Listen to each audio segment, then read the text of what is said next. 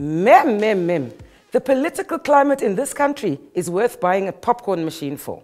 Never before have I experienced such mayhem in Namibia's political landscape, and it is as exciting as it is scary. The most contentious issue on the minds of Namibians recently have been not only the blatant display of a lack of honor amongst our honorables, but also the fall of good governance and a lack of adherence to the very protocols we have adopted as part of our so-called democracy. I asked the Electoral Commission's Theo Mujoro to explain just what transpired when those EVMs that Justice Minister Sacky Shangala was quoted as having said fell off a trailer recently made newspaper headlines were discovered. Clearly, there was a breach in terms of the security protocols. First of all, as the Electoral Commission, we were not supposed to allow an external entity to transport such sensitive electoral equipment. And I mean, we are not even hiding this. We were not supposed to do that, but it happened. It's water under the bridge.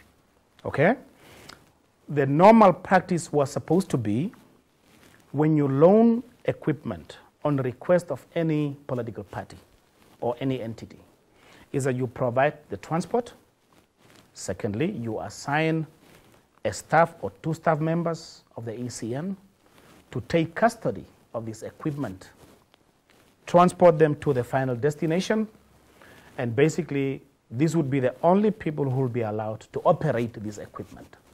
In this particular case, it was very unfortunate.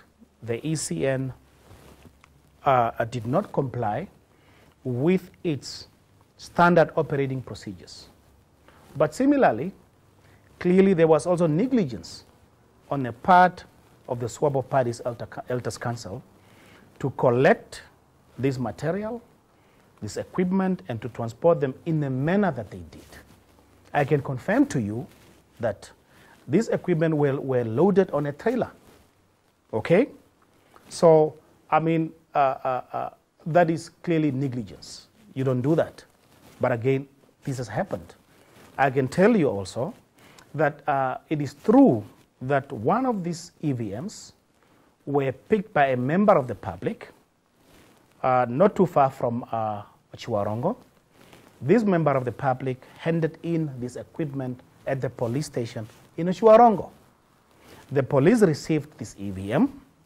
It was processed. I am sure it must have been recorded in the some occurrence book or whatever the, their systems are. Secondly, I can also tell you that the two staff members who were assigned by the SWAPO party to collect and transport this equipment to Outapi in Omusati region did go to the police after this incident. And they made statements under oath describing what transpired, what happened, and how these things got lost. Thirdly, the former director of the, of the Electoral Commission, Chief Electoral Officer, Professor Isaak, was in contact with senior members of the Namibian police, informing them about what happened, what transpired, and the fact that some EVM units were still missing. Okay? But it is clear, after all of this happened, that no criminal case was actually opened